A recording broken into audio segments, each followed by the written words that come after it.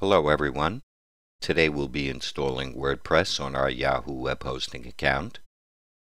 As you can see, we've already opened the Getting Started email, and we'll begin by clicking on the link for the web hosting homepage.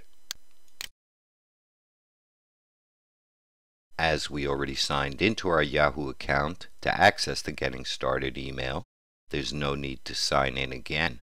We'll just simply use the Access Your Account link to access the web hosting control panel.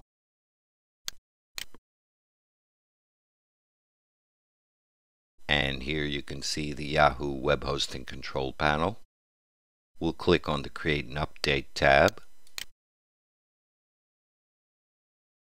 We'll scroll down to Blog Tools and click on the link for WordPress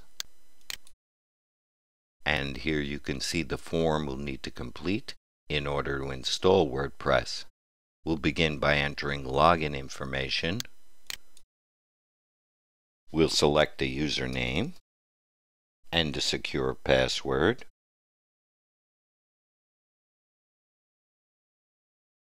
We'll confirm the password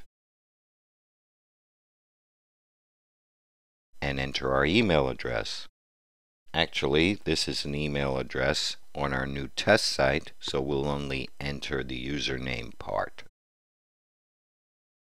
Step 2 is to choose a home page for our new WordPress installation.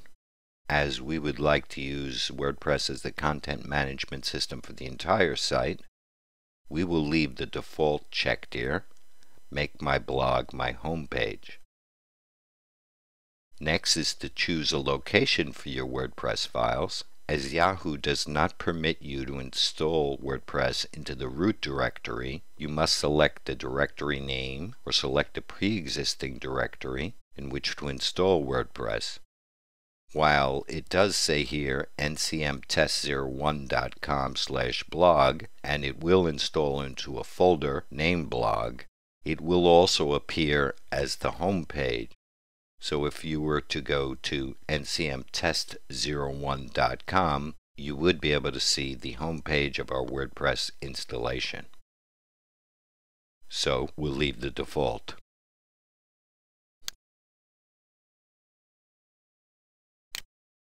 Step 4 is to accept the license agreement.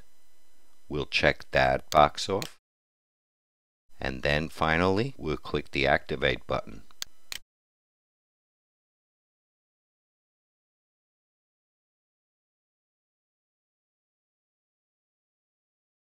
We'll wait patiently.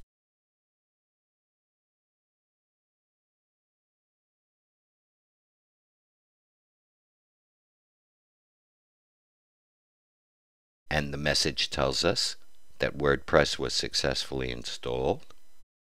The message tells us to begin working on your blog, choose one of the following links. Edit blog settings, add a post, view your blog. As we would like to look at the WordPress dashboard, we'll go to Edit Blog Settings. Next, we'll log into the WordPress dashboard using the username and password we just created. And here you can see our brand new WordPress dashboard. From this screen we can control all aspects of our WordPress site. To create a new post, we simply go to plus, new, post. We add a title for our post here. We add content here. Click the Publish button. But we won't be creating a new post today. We're simply going to take a look at our new WordPress site by using the Visit Site link at the top of the dashboard. And here you can see our new WordPress site.